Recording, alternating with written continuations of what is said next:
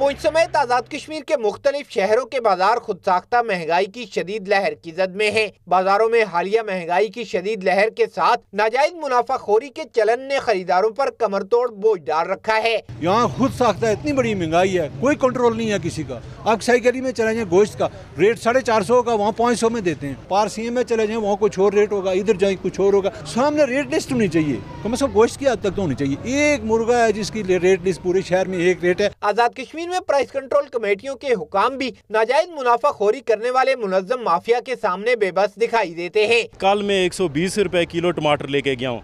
आज रेट पता किया तो दो सौ रूपए किलो है।